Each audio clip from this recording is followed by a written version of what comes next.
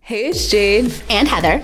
And in this video, we're gonna sit down and talk with Mr. Smith, the new basketball coach and math teacher. Join us as we sit down with Mr. Smith and ask him about his first year at WA.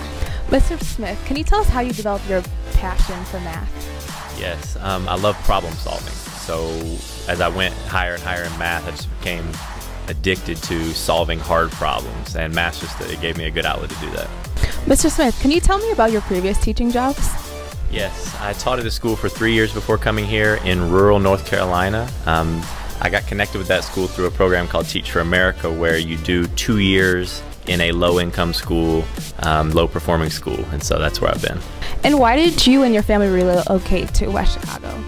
My wife actually brought us here. She started the PsyD program at Wheaton College, and so she applied to some schools, and this is where she was accepted, and we moved up here this summer.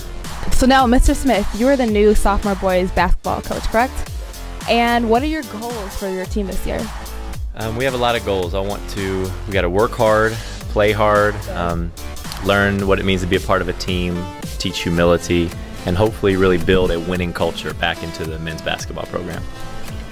And lastly, Mr. Smith, tell us an example of when you live life to your fullest.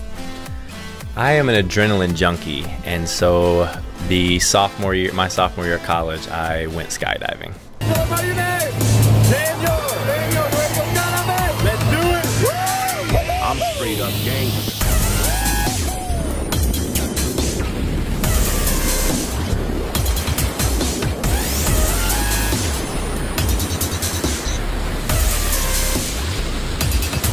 Hopefully, you learned more about Mr. Smith and his role here at WA.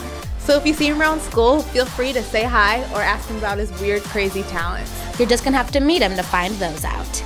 This is WA TV signing off.